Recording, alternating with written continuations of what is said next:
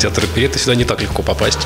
Надо сказать, что я давно к этому стремился. Мне очень нравятся и продюсеры оба. Я все надеялся, что однажды все-таки меня в какой-то спектакль возьмут. И вот наконец-то это произошло. Я очень этому рад. Я очень люблю театр оперетты. Смотрел все их спектакли. Регулярно сюда хожу. Здесь работает огромное количество моих коллег и друзей. Поэтому это очень здорово, что я вливаюсь в эту семью. А у меня очень интересный персонаж, непростой. То, что я показывал, это как бы немножко, ну, как бы довольно далеко от меня, такого, в котором я являюсь ежедневно, и от тех ролей, которые я делал до этого. Это такой немножко другая какая-то реальность. Приходилось немножко как бы себя в эту форму определенным образом загонять и искать в себе вот эти какие-то, знаете, внутренние там струны. Получилось, к счастью.